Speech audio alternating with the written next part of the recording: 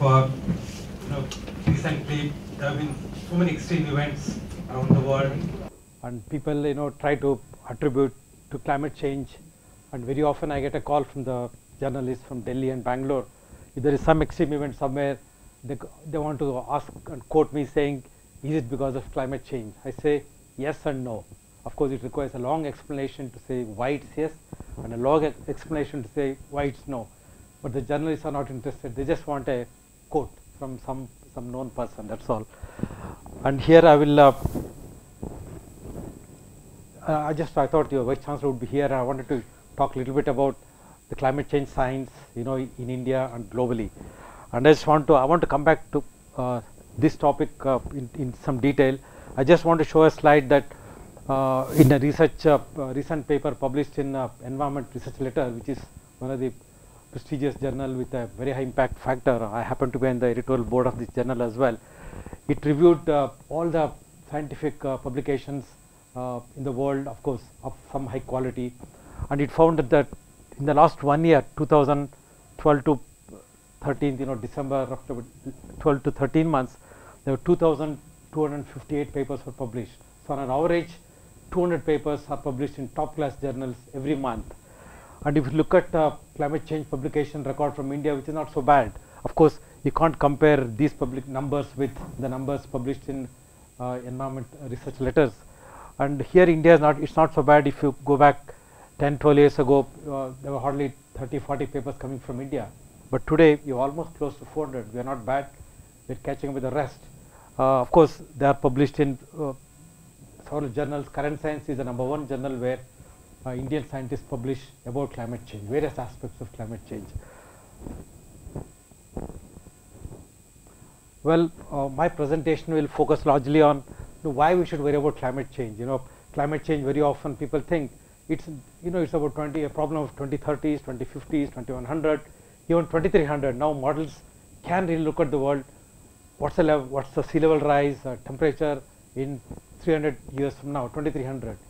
So, given the fact and the politicians give a damn what happens beyond two to three years, forget about worrying about what happens in 2030s and 2050s. But uh, the but the new science shows that we need to be really worried about climate change even today. Uh, there is enough scientific evidence, and you're all students of science, and you should uh, trust that. And uh, I want to talk about uh, why we need to worry about climate change by focusing little more on the observed impact of climate change rather than trying to look into the future. You know, you can look about them in the IPCC reports on the website.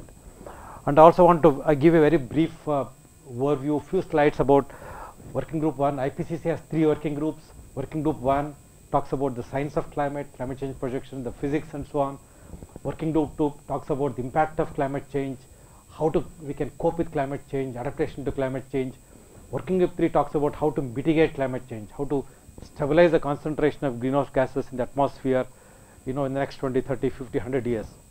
And of course, uh, so uh, there is also what's called a, a synthesis report, uh, which brings together uh, each of uh, some sort of the key findings and synthesizes uh, in a report called synthesis report. Working group one report has been released already in September 2013. I'm sure many of you have, um, have seen it on the websites and newspapers. Working group two report will be released next weekend uh, in Yokohama, Japan. Working group three report in which I'm involved will be released in uh, uh, Berlin, uh, April 14th, and synthesis report will be released in in, in Copenhagen in September uh, 2014. So all these reports will be out, and uh, the, there's already speculation about these reports. In fact, I will show you some slides. Though some of the IPC reports are not supposed to be quoted, but journalists pick it up from friends, and you know they put it on the newspapers already. And uh, I also want to talk a little bit about uh, the politics and policies involved in you know on climate change, and also a little bit about research on climate change. Well, why we need to be worried about climate change? Because there is uh, irrefutable, unprecedented literature which talks about the climate change already impacting water resources, you know, biodiversity, forest fires, and so on and so forth, even food production, water availability, and so on. And secondly, there is also a lag in the response of many of the natural ecosystems and definitely socio-economic systems to what has happened in the last 10, 20, 30, 50 years. If we are, I work on forests, we know even if you change uh, the temperature or whatever CO2 concentration in the atmosphere, it takes several uh, decades sometimes for forests to respond. By the time you observe all those changes, it will be too late for you to really cope with uh, the you know the impending climate change. And uh, of course, uh, know all the global policy making. I'm, I'm sure you have heard about the UN Framework Convention on Climate Change. Uh, I'm going to show a few slides about that. They take decisions on how to address climate change at the global level, and they base their decisions on the report of IPCC, the Intergovernmental Panel on Climate Change, which is supposed to be a consensus of the scientific community globally, not just you know UK, US, or Russia, or India, China, but it's a global consensus of consensus on climate change. So the governments believe in this global uh, consensus, and it's also a UN body. IPCC is under the United Nations, so they seem to trust the UN than not just uh, you know any journals. And of course, there are many uncertainties about climate change. No one really knows exactly. The models cannot really uh, build till in or consider all aspects of uh, you know forces that are happening. Imagine if you have to really simulate in, in few computers in a room half of this size, half room size of this auditorium. You have to simulate the whole atmosphere, oceans, and terrestrial ecosystems. All the exchanges happening between these three: terrestrial, atmosphere, and ocean. Imagine the biochemical changes and you know physiological changes, exchange of heat, the CO2 and so on happening between all these three uh, you know systems. It's too complex, and uh, and thirdly, of course, we need to be worried because uh, the impacts will be disproportionately more on poor than the rich. All will be impacted, poor will be impacted more. And uh, finally, there is if there is any delay in action, it becomes too expensive uh, to cope with climate change in the future. And maybe if you don't do anything in the next 10, 20 years, maybe it's impossible for us to control, uh, you know, the rampaging climate change. And uh, that means there is a need for a good understanding of climate change.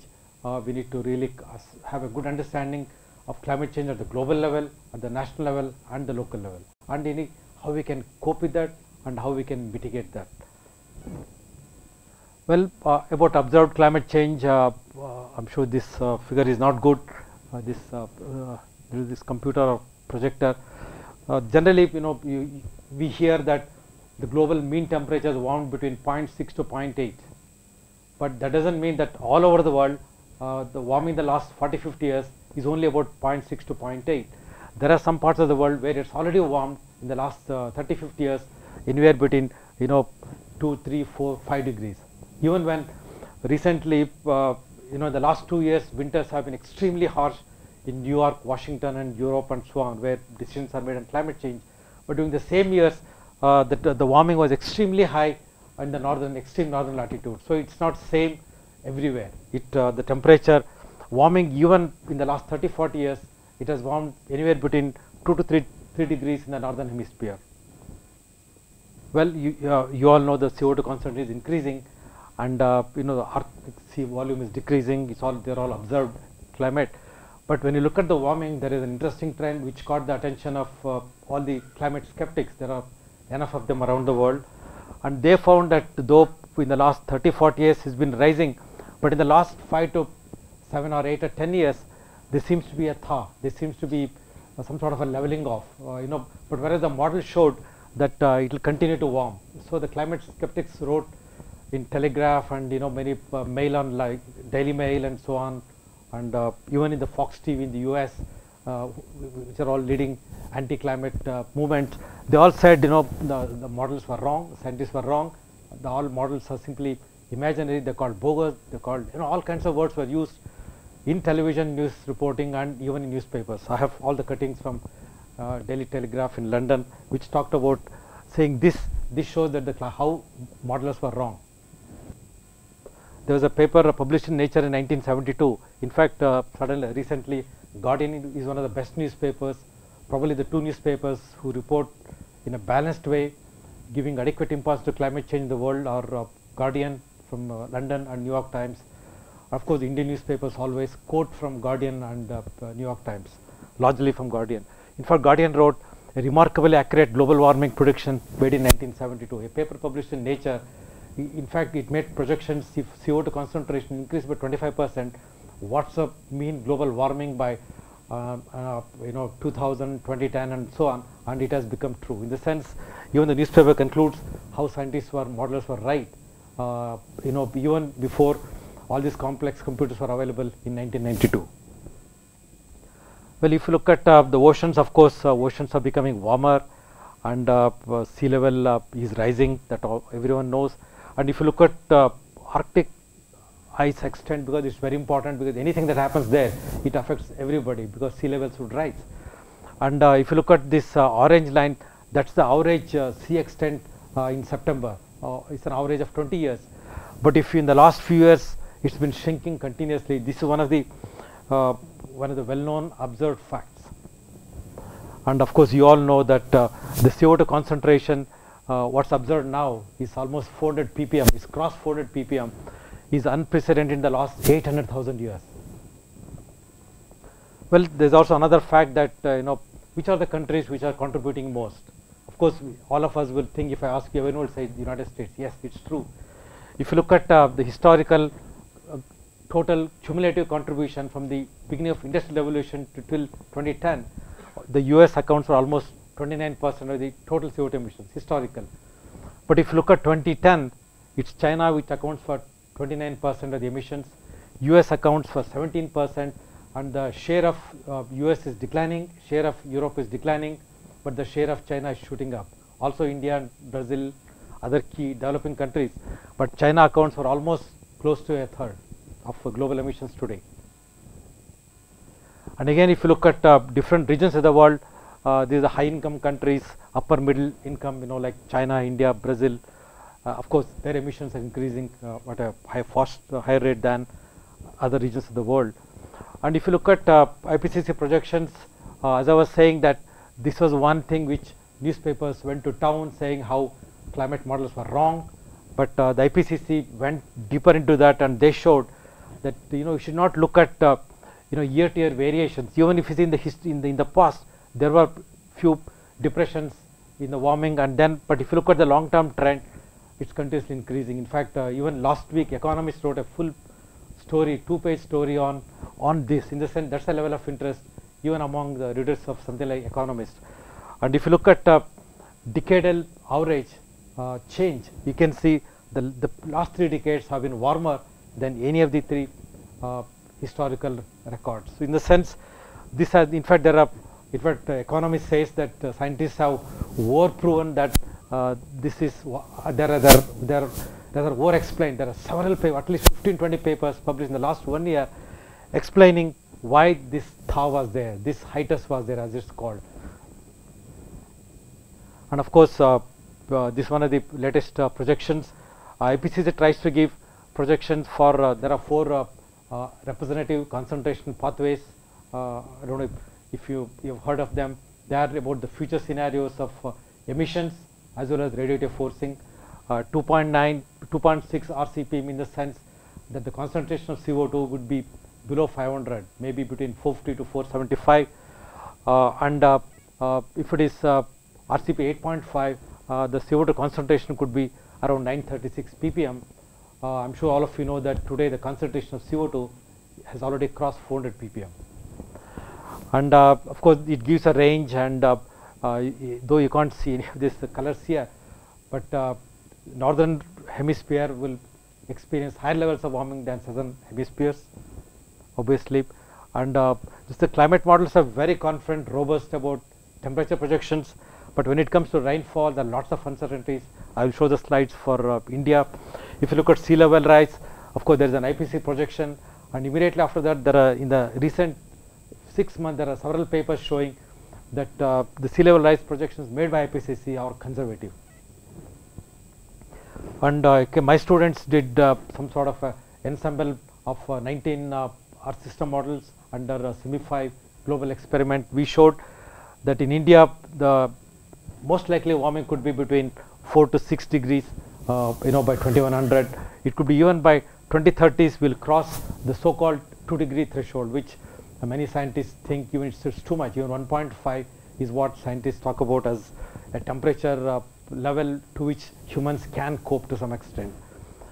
And uh, if you look at, uh, uh, you know, if you look at the rainfall distribution, different models show different projections. Lots of models show there will be reduction, some models show there will be increase.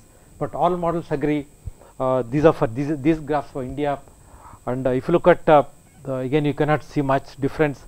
Uh, the northern parts of India will experience higher levels of warming than southern part of India. So the warming levels are different, different parts.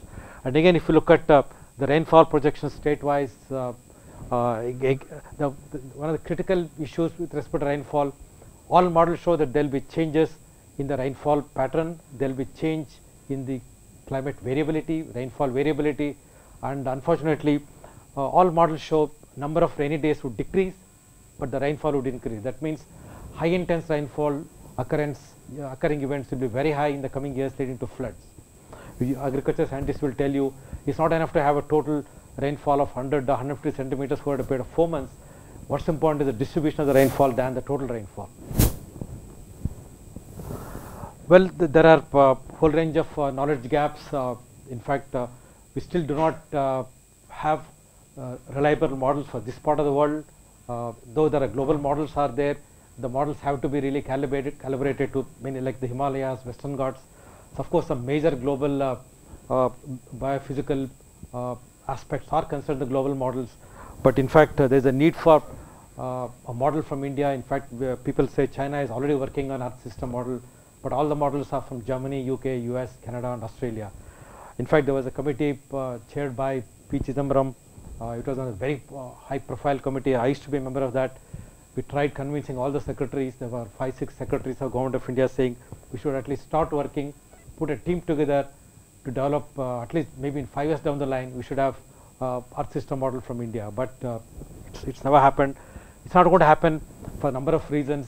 You need a team of 30 to 40 uh, scientists and engineers and economists working under one roof under like in a satellite uh, you know program launching a satellite you have a missionary approach. You have a large number of engineers scientists working together. They have a deadline. You need to work like that and it doesn't happen uh, in, a, in a university system. It maybe it happens to some extent in ISRO but I don't think it will happen in a university system where 30 40 scientists working under leader 24 hours a day or whatever 18 hours a day for 3 years on one program to develop an Earth system model so in fact, all committee members felt no, it's not going to happen in India. So let's give up. That was the uh, conclusion. And what's important is that uh, all the global models or our system models have a grid size of 200 kilometers by 50 kilometers, 300 kilometers by 370 kilometers. Different models have different uh, grid size.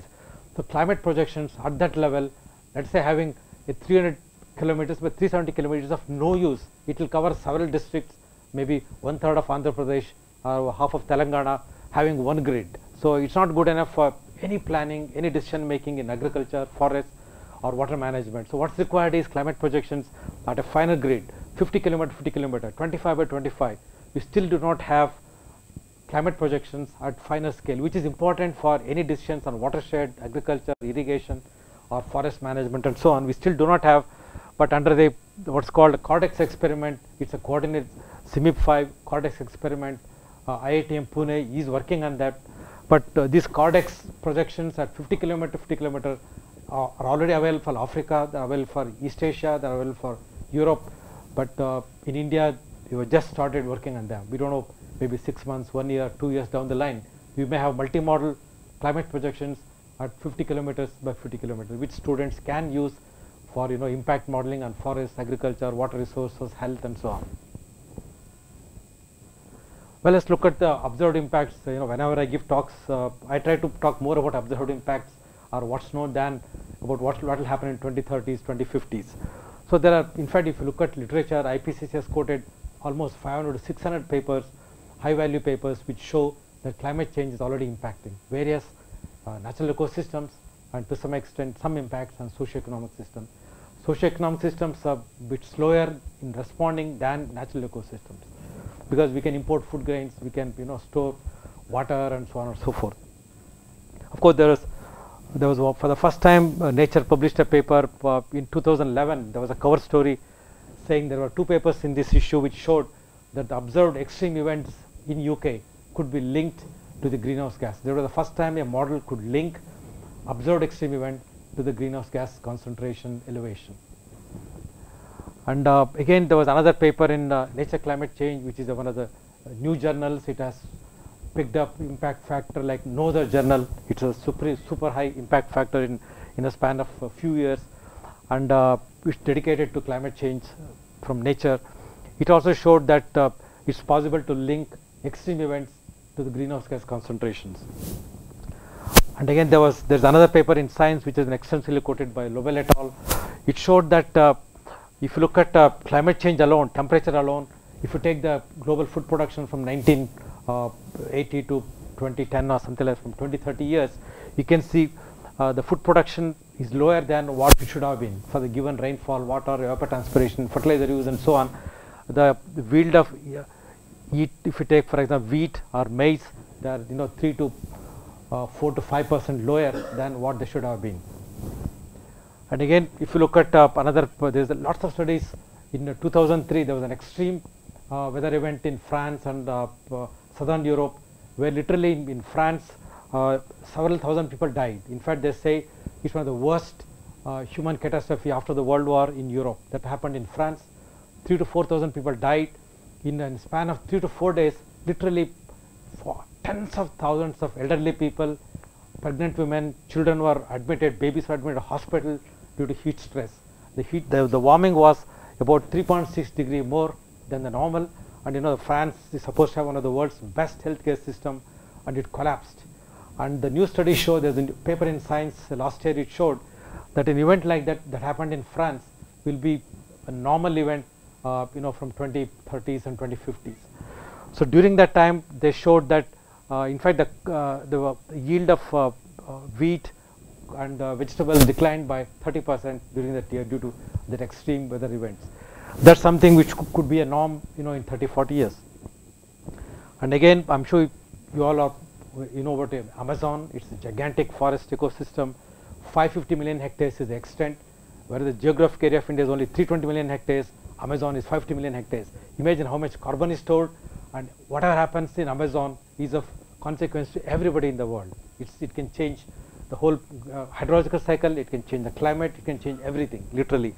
And scientists are there are so many research programs from Europe and America. They're all set up bases in Amazon. They're trying to assess how Amazon responds to droughts or any extreme events and so on. Amazon had two droughts, one 2005 and a even bigger drought in 2010. So there are literally at least 10 to 15 papers published on how Amazon responded to these droughts. And they found 2005 droughts forest recovered. But 2010 drought, there are so many papers that showed that net primary product declined significantly. And they fear that if, uh, if there is, let us say in the next 20 years, if there are two to three consecutive droughts in Amazon, we don't know how the, what will happen uh, to the global hydrological cycle and climate and so on and so forth. Nobody knows. It's one of the uh, scary uh, scenarios. In fact, there are some models, dynamic global vegetation models, which show if uh, the business as usual warming continues, by 2100 Amazon could be a savanna or a grassland. That is like a catastrophic change uh, in the world. I hope uh, it will not be true. But studies have shown 2010 drought has been one of the very extensively studied droughts uh, in Amazon. And of course, uh, everyone knows about how the unprecedented Arctic sea ice melt. You heard about that, and also even Greenland, which is in the area of Greenland, we tend to ignore. It's something like 230 million hectares, you know, as big as two thirds of India. And what happens on Greenland is again of consequence. And there are some models show if all the Greenland uh, ice melts, the sea level will rise by 6 meters. And uh, the, the call, they say the threshold or the cutoff or tipping point is something like 1.6 to 2 degrees compared to the pre-industrial, but we're almost close to that. So we don't know what will happen if Greenland sea ice melts and the Arctic sea ice melts and uh, in fact there is records to show unprecedented melting of ice, uh, Greenland ice. And another of my favorite studies in the global change uh, biology, there was a long-term study in the US in forests where you know what we expect is when there is warming and we expect forest and plant species to migrate along the altitude and latitude. So they expected that with the last 50 years of warming, plant species would migrate, uh, would start shifting towards northern part towards Canada and so on. But they found 58 percent of tree species their their uh, range contracted instead of expanding. So scientists were shocked. What will happen if this is the reality? Then if there is warming, instead of we expect at least in Amazon and or some such parts or in uh, very areas where there is no human disturbance, plants to migrate, animals to migrate. But here they they say that when it's when the climate changes, trees will, or plants will be sitting there and experiencing warming, and of course they will all experience dieback. So this again bad news for natural ecosystems, and of course. Uh, I had an occasion to do some work on Lake Chad, uh, at least involved in evaluating some proposal. This one, one lake uh, in uh, in northern Africa. Uh, there are satellite photos. I couldn't get the latest one. Uh, this is some sort of a, an average of many years. You can see there was a, almost 30, 40 million people depending on the Lake Chad. Today, it's down to uh, they say 128th of its original size, and all the people, million, 20, 30 million people, and the cattle who are living on that, they all have fled. In the sense, it's a very poignant story of how you know uh, climate changes can lead to mass migrations. In fact, whenever I hear uh, uh, Professor Nicholas Stern from uh, London School of Economics, he always talks about massive migration. He says by 2100, the biggest challenge facing the world will be migration of hundreds of millions of people. Uh, imagine all 50 million people from Bangladesh coming to India. They are, they are coming anyway in large numbers. Imagine what happens to uh, you know the northern northeast states. Well, to conclude that part in the sense, there's enough scientific evidence to show that climate is already impacting uh, hydrology, it's impacting food production, it's impacting biodiversity and so on. And again, we need to really start action now, how to really build capacity or build adaptive capacity among natural ecosystems and you know forest dwellers and uh, fishermen and so on. We, in fact, there are lots of studies on fisheries. Uh, I didn't show, and uh, they also show similar trends. In the sense, there's a need for what's missing in India is uh, long-term monitoring studies. In fact, when Jairam Ramesh uh, was a minister, we convinced him. We made some presentations. He immediately launched a program on long-term monitoring of ecosystems. You know, wetlands, forests, river basins. Instead a big program, we had. In fact, one of my colleagues from the institute was made the coordinator for that. And we had two three meetings already. Everything was set. Then then the minister changed and the whole program also collapsed. So we don't have any long term monitoring uh, studies at all. In fact the only long term monitoring studies we had on forest ecosystems were indeed during british time. All the records they were there till recently. They have disappeared from forest institute in dehradun. And uh, we don't have the kind of forest monitoring plots which existed during British time, you know, in Indian forests. And uh, we have failed to convince the new minister, and uh, the program is gone. Though it's on paper, it's there, but uh, there's no interest in the long-term monitoring. And whereas I I happen to be in the, the British uh, Ecological Society meeting last year, I was shocked to hear, not not shocked, pleased to hear 30 to 40 students, PG students, postdocs presenting their studies on how in Europe grasslands are responding to climate change, forests are responding, how you know birds are responding, insects, the pollination, how it's changing, simply because they had long-term records, you know, in, in, in England, in Germany, and Switzerland, of all what ecological change that happened in 20s, 30s, 40s, 50s, because they had historical records. Students can look back and compare how the pollination is changing, how the insects behavior, bird arrival, lots of studies, literally hundreds of papers, hundreds of pages theses in Europe, whereas in India, I work on forest, my students work on forestry, no historical data at all.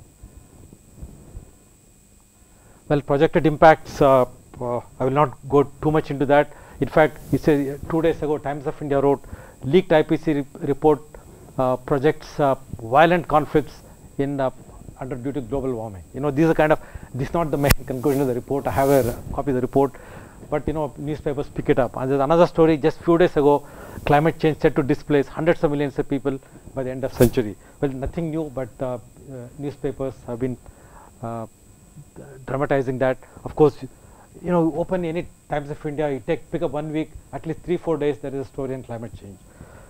And uh, of course, there are warming could make uh, poorer, and in fact, there are even things like the tea will lose its aroma, coffee will lose its aroma, apple will lose its crunch. You know, you find all these things quoted in newspapers, and of course, even uh, surprisingly, the one of the few leaders who talks about climate change passionately are the Swedish and the British uh, leaders. And uh, after uh, typhoon, cyclone Haiyan, uh, David Cameron was one of the first leaders to try to link the extreme event to climate change. And surprisingly, recently John Kerry he gave a major lecture in, in Jakarta, he said climate change is as big a threat as terrorism, poverty, and weapons of mass destruction. We were surprised to hear something like from John Kerry.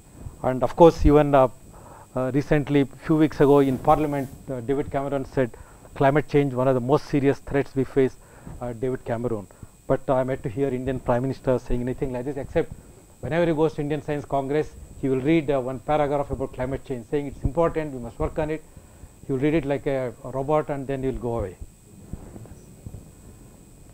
Well, the one interesting graph uh, put in the IPCC report, which I am sure you will see it next week, is that uh, uh, how we know uh, 1 degree, 2 degree, 3, 4, 5 degrees warming compared to the uh, pre-industrial uh, levels and how uh, you can't see the colors unfortunately in this uh, projector, how unique threatened ecosystems would respond. This is one of the very nice figures I like.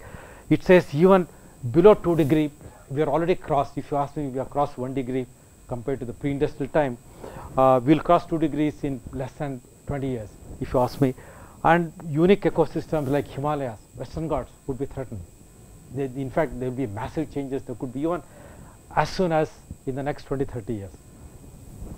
And how extreme weather events would change with warming? Well, even before 2 degrees, uh, there will be extreme events which can be linked to you know increased greenhouse gas concentration. There are in fact uh, uh, Professor Hansen and NASA, in fact surprisingly NASA wrote an article saying that uh, you know the 2010 Russian summer heat where you know hundreds of millions of hectares forest fire took place and in Moscow people couldn't walk on the street during daytime because bitumen tar melted. They couldn't drive on the streets of Moscow. 2010 or uh, 2012 uh, the flood in Pakistan where almost one third to one third of Pakistan was underwater. Never never it happened and all the Australian summer last year it hit 46 in Melbourne unheard of. During the Australian Open they had to suspend you know tennis the Australian Open. Or even the US drought in 2012 was unprecedented in decades. So there are lots of such events already occurring and unprecedented in the in the, okay the latest one is uh, in England uh, in southern England I, I was there a few weeks ago. And for weeks it was on the front pages that they had the worst flooding in the last some two, 230 years so in fact, again there was a discussion in the parliament, David Cameron did say that this is because of climate change, we need to worry about it.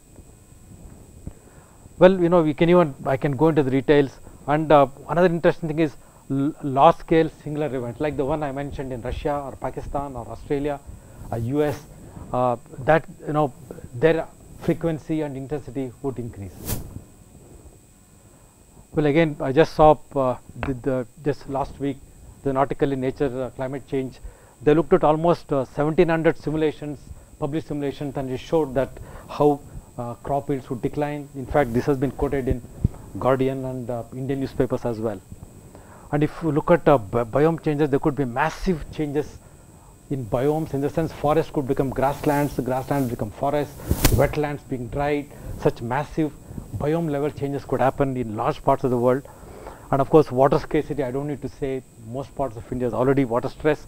It will only increase. And in fact, there's a study the all uh, iconic ecozones in the world, like Himalayas, Western Ghats, you know all the beautiful spots in the world. They would all undergo change. And again, our modeling studies from my students uh, show that even by 2030s, significant part of uh, Western Ghats and Himalayas forests would undergo change, even by 2035. Well, just to show a concluding slide that there has been of course, many rankings of the countries with respect to climate vulnerability and uh, I'm sure all of you would guess uh, Bangladesh would be number one because it has high population density, extreme poverty and extreme vulnerability to cyclones, hurricanes, floods and so on and so forth and people live below sea level, below uh, you know uh, flooding, uh, they, they all live in floodplains and so on. Bangladesh is number one, India is number two. We are the most vulnerable country in the sense the impact of climate change would be highest here because of many reasons you all know.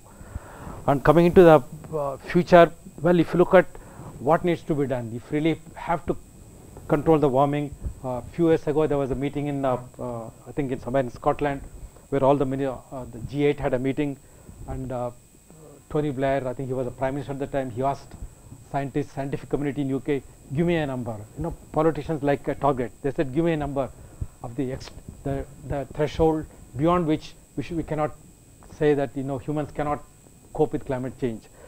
There wasn't any serious uh, analysis, but there was a meeting in Oxford and few topmost scientists met because the Tony Blair said, I'm going to make an announcement at G8 in uh, Gleneagles, I think in Scotland. I need a number.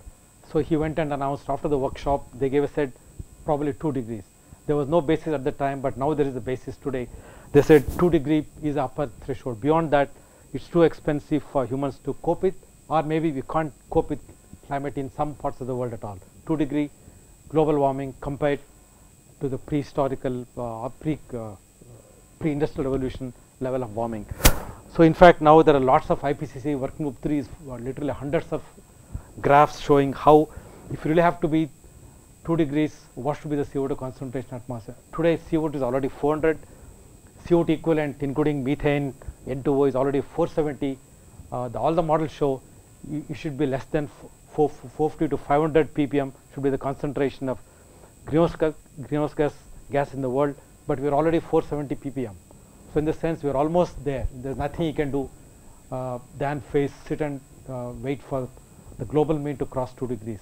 Though as I said, many other parts have already experienced 2 degree or plus. So there are many, there are many models. There are simpler models I will show. Of course, one of the models that was shown uh, to uh, Tony Blair at that time, uh, G8 was that you will cross 2 degrees by 2030s. And this graph uh, used, uh, you know, in that meeting, G8 meeting.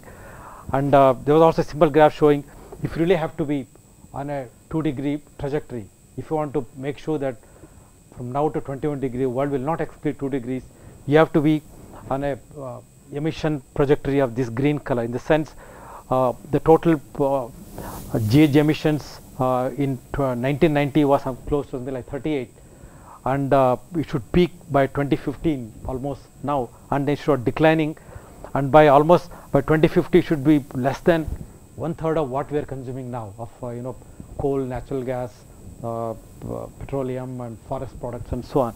There is no way we can go anywhere between there is no chance for the world to stabilize warming below 2 degrees. We only have to see whether we can hold it to 2.5 or 3. If you don't do anything, emissions will be on this trajectory.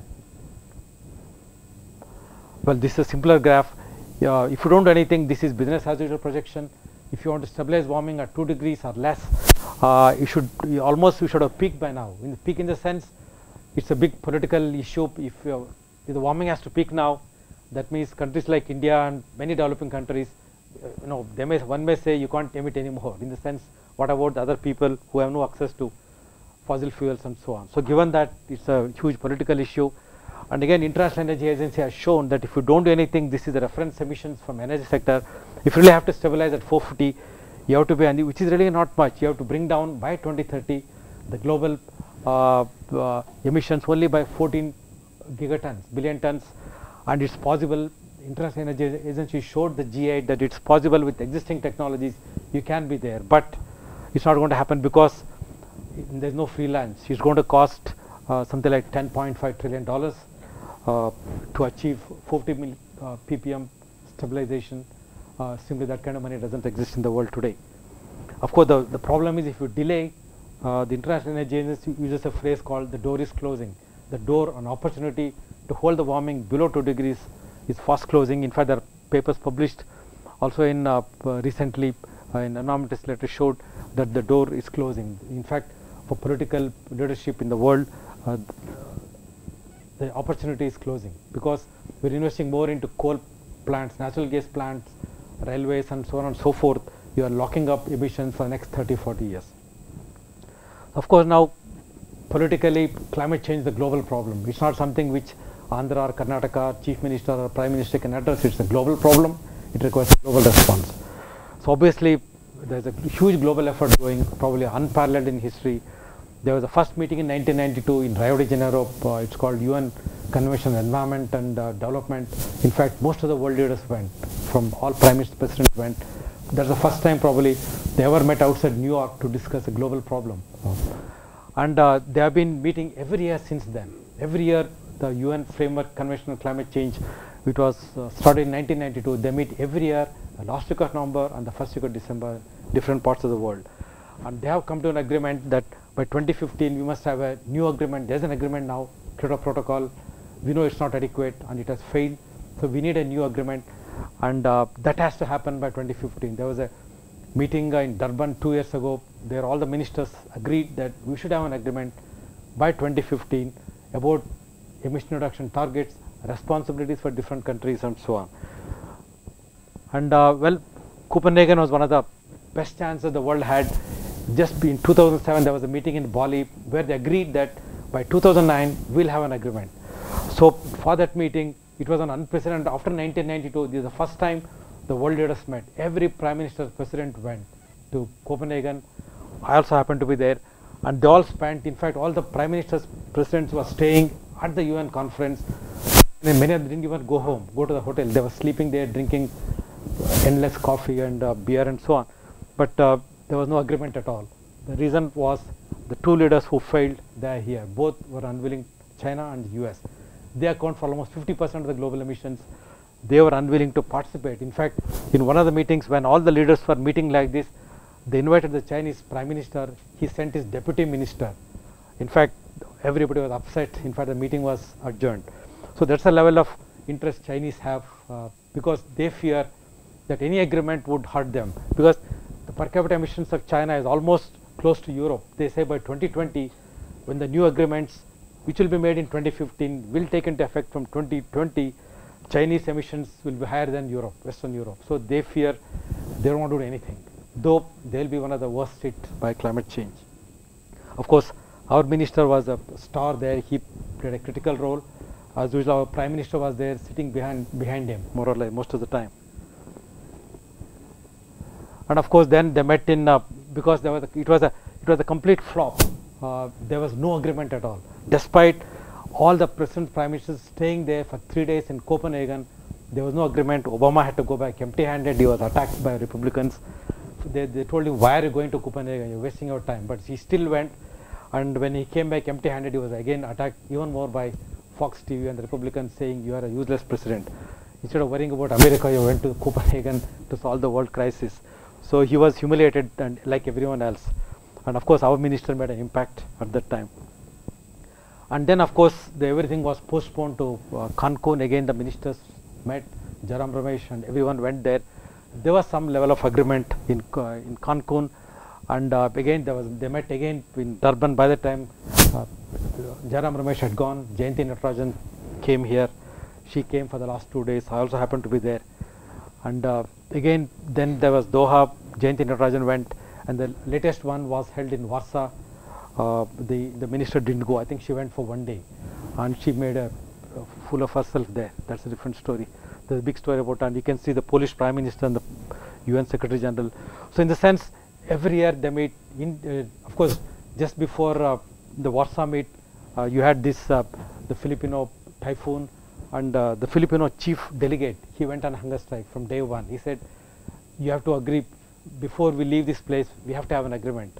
Well, there was no agreement. Uh, he had to fast for two weeks. No, of course, everyone sympathized with him, sympathized with the Filipinos. He followed, he thought like Mahatma Gandhi, he would succeed. But uh, there's no one to listen to him. So finally, he had to go back and eat his food uh, in Manila. And of course, there were hardly any achievements. I will not go into the details.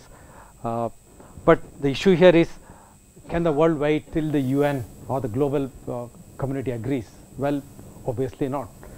Uh, many expect by, by 2015 when it will be a very high profile meeting in Paris in November last week, everyone expects uh, there's so much in literally the world community is meeting every three months every two months they're meeting in bangkok manila tokyo singapore everywhere in in copenhagen to discuss to thrash out an agreement but uh, many many believe that given the current global financial crisis and scenario, there will be no serious agreement. Of course, one of the agreement they have promised is that uh, they will dedicate 100 billion dollars to the Global Climate Fund annually for mitigation and adaptation to help developing countries to be on a low carbon development path. But there's hardly any money, literally there's not even a billion dollar in the Global Climate Fund. It's simply they're unable to pay probably their rent in Seoul, uh, where it's headquartered. So 100 million dollars would be a dream. Well, uh, in fact, there was a study published. Uh, there was a study conducted by uh, Yale University and George uh, Mason University about climate change awareness in India. There, it was a massive study published, and it showed that a lot of the people, uh, majority of them agreed that there is a reduction in rainfall. People, you know, ask any village, they, will think there is a reduction in rainfall, even if there is an increase in rainfall according to records. There is a psychological feeling. They also feel that monsoon is, you know, is less predictable now, which is true. Scientists also agree, and ordinary people also agree. And when asked about climate change under the big study, they said, of course, 25% said they don't know anything about it, and only 7% said they, they knew a lot. In the sense, there is some level of awareness. Uh, even in the US, I was reading a joke a few years ago that a study was conducted during George Bush time. The study showed 85% of Americans believed in climate change. They felt uh, it's important, and the rest 15% they, they said the joke said they are working for George Bush. So there is uh, there is some level of awareness uh, in India, and what's required immediately is there is a need for deep emissions cut. Obviously, there is it's a burden everyone has to take. Uh, it's not that only rich countries, even if all what you call the rich countries, top rich countries, if they start, if the emissions become zero, still the emissions from China, South Africa, India, Indonesia, Brazil are enough to take beyond 3 degrees. So given that fact, and again uh, global uh, carbon project showed in 1992 the emissions from uh, OECD countries, rich countries accounted for 65% of the global emissions.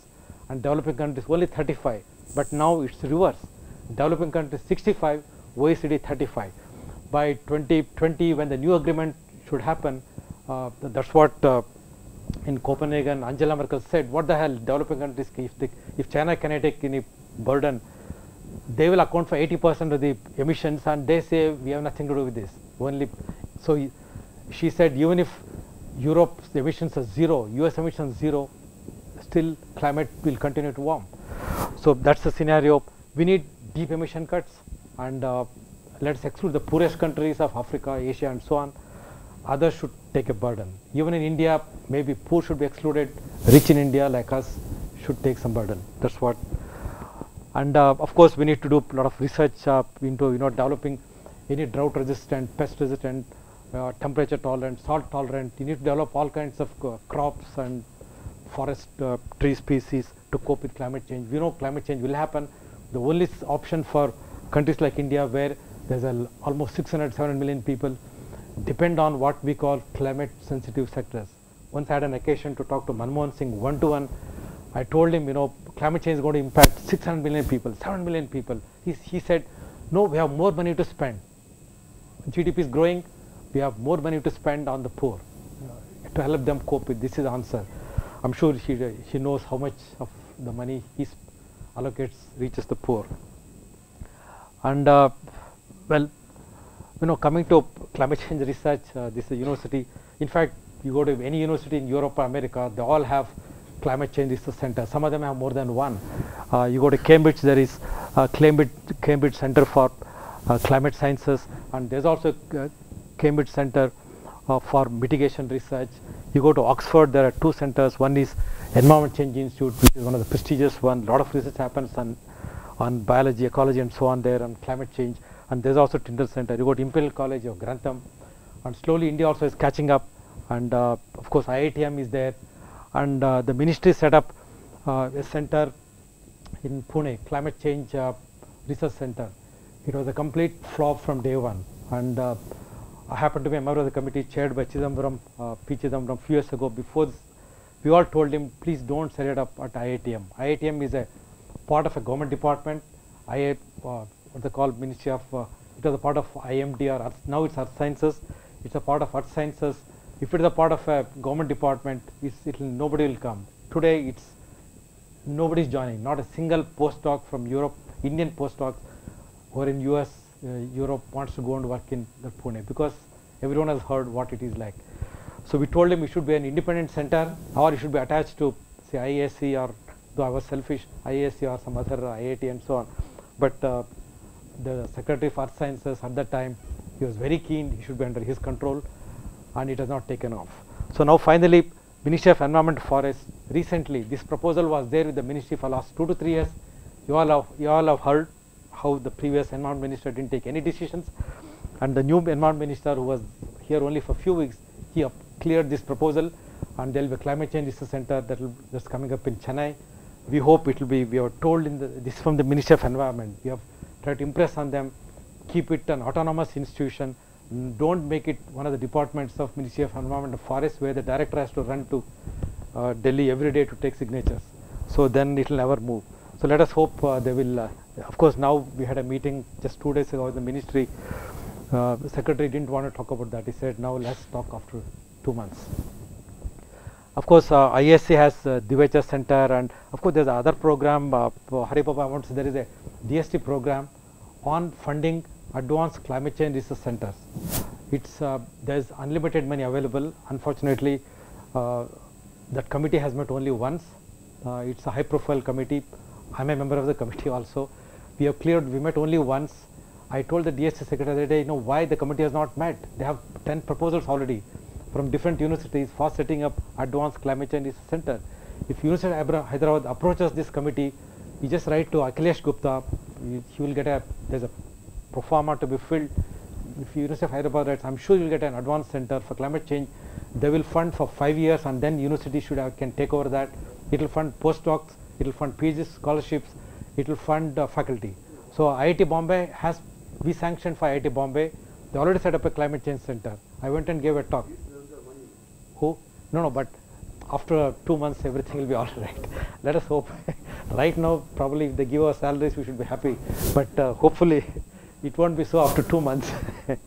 No, uh, definitely this is, in fact, uh, Akhilesh Gupta, who is uh, coordinating this uh, program in the back. I just met him last week in Delhi at a meeting. He said no, he's going to call a meeting soon.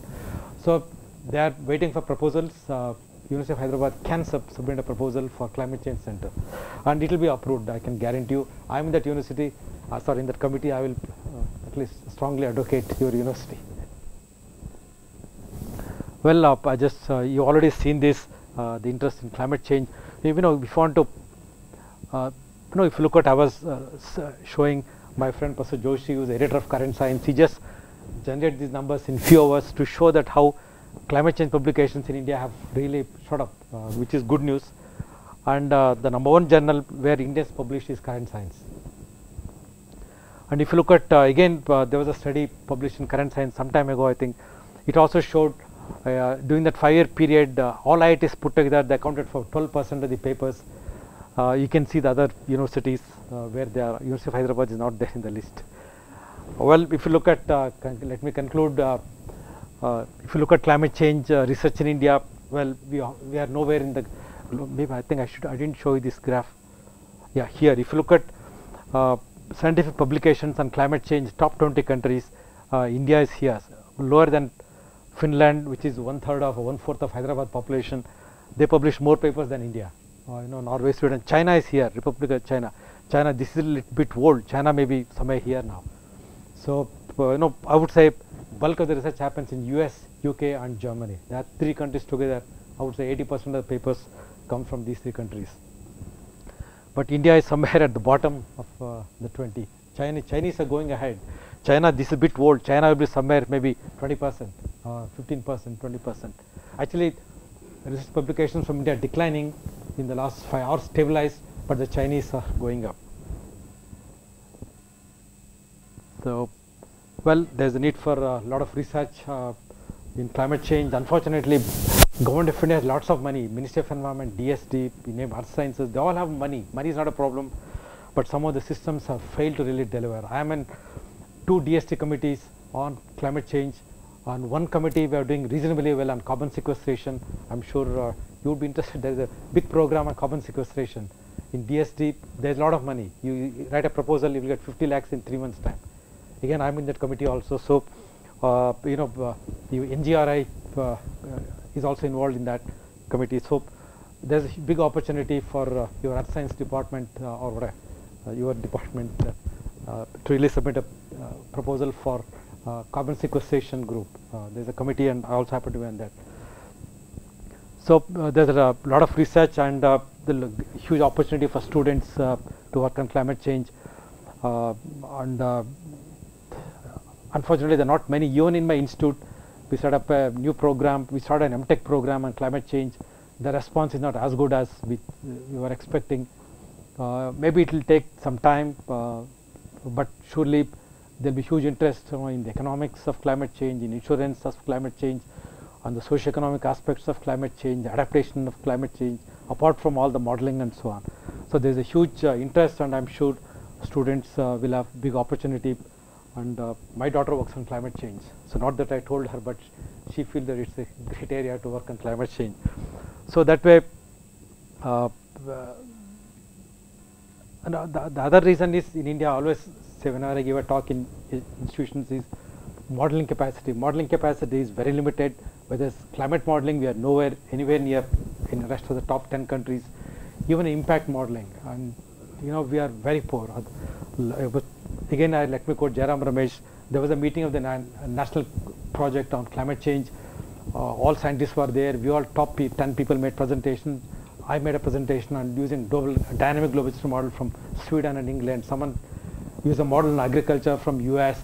After you know everyone's quoting these models from Germany, it's from U. Then Jairam has, is there anyone here who has used an Indian model to assess the impacts of climate change on health, agriculture, forest, biodiversity? Everyone put the head down. Then he said, what's wrong? When will we have our models? So what do you want? What's lacking? So uh, in fact, he also said, do you have a world-class journal from India? Jairam Ramesh. So I, I happened to, he asked me, our, uh, Sir Ravindranath, can you and Professor Srinivasan from IISc, you start a journal on International Journal on Climate Change, you come with a proposal next week, I will get all the money. What do you want? You want DST support? What support you want, we'll give. I went and spoke to my colleagues, uh, Jay Srinivas and others, they said, sorry, it takes a lot of effort. It's not easy to start a journal. And we're all, uh, you know, 60. So it has to be started by some younger faculty, not someone like me or Hari Babu or others you're, you're too old to start a journal. Jay Srinivasan is already retiring now. So obviously people like that cannot start journalism. Young faculty have to take interest and start journals. So well to conclude, well you know there is mounting, mounting scientific evidence more and more is coming about climate change already impacting. It's not that politicians can say that it's you know it's 2030, it's 2100. We don't need to be worried about it now, but it's wrong and uh, countries like India will be most impacted by climate change. So we need to be really worried. There's need for a lot of research. You know, many. I go to so many meetings in Delhi. They they don't want to hear about climate change at all. You know, ministers, secretaries, and so on. They think it's something. It's not an issue at all. You have to force them to listen to you. So no one is interested in climate change. To be honest, other than scientists, they think you you want to do it because you're interested in research and money, your students, and so on, papers, which is not true. But there's a lot of research happening around the world, a lot of interest. Though you can't expect politicians to take interest in climate change because this is a long-term issue. Though there are impacts now, but the impacts will be far higher, far visible in 20, 30 years time. Which chief minister in India will, be, will, will worry about climate change? None, to be honest, except except uh, yeah, some people may not like in Gujarat. There is a Department of Climate Change. It was the only state in, in India which has a Department of Climate Change. There is a secretary. Not that they are doing much, but at least they have some. Uh, uh, center to have a climate change. In Himachal again have a Department of Climate Change. There are few states where they are taking initiative. And uh, well, as as International Energy Agency says, the door is closing. The door for the political leadership at the global level to take action to stabilize warming, stabilize concentration, that opportunity we are losing. And everyone knows if you don't do anything by 2020, 2025, finish you can't do anything it will be too expensive for the world and uh, it's going to impact uh, it will be simply impossible and it will be too late more, more than anything else. If you don't peak and reduce emissions in the next few to three four years then it will be too late. Well uh, let me conclude by saying that in fact uh, I'm writing a paper now it's going for publication where we show that scientific community is very conservative when it comes to uh, making projections of climate change or telling the you know public or media or policymakers about the impact of climate change. IPCC particularly is very conservative. In fact, recently Guardian wrote, scientists are worried IPCC is underestimating sea level rise or even climate change. In fact, myself and Professor Bala who came recently to give a talk and one of my postdoc, we are writing a paper on how conservative projections of climate change by IPCC which is the basis for all the global policy making and even among the scientific community scientists are a bit hesitant to write about you know how severe climate change is they, they fear they will be attacked at least in Europe There are enough people waiting with loaded guns to attack any scientist who makes one small mistake. So scientific community is very cautious, over cautious. They don't want to sound alarmist. They, in fact, all you will never find any alarmistic language in environmentalist letters, you know, global change biology or nature or science. None of the top journals ever use any extreme language, though many of the model outputs require using such language. So scientists, scientific community, scientific community is very conservative. They want to be deliberately less alarmist, and they don't want to, you know, to attack by because there are enough websites waiting to attack any paper that comes in top journals. If there's a small error, you're finished. Your career is finished. You know, if you're in, in England or in, in the US. So given that, so policymakers need not uh, get carried away by IPCC conclusions because IPCC conclusions are negotiated. IPCC produces a almost 1500 page report, technical report with 20 25 chapters and there is a technical summary of 40 to 50 printed pages and then there is what's called a summary for policymakers SPM that is about 5 to 6 or 8 pages. There is a word limit printed. That's the one it's a negotiated document. Next week it starts for the working group 2 there every word is negotiated by government negotiators government policymakers uh, may not be ministers but next to the uh, the experts from all over the world they negotiate every word. So they try to water down. Chinese at one time they wanted to this is the last sentence. So chinese in one of the negotiations they said they didn't want to hear any serious word about climate change for the political reasons. So ipcc reports are uh, negotiated conservative. So world cannot take decisions based on ipcc report. Thank you very much for uh, your attention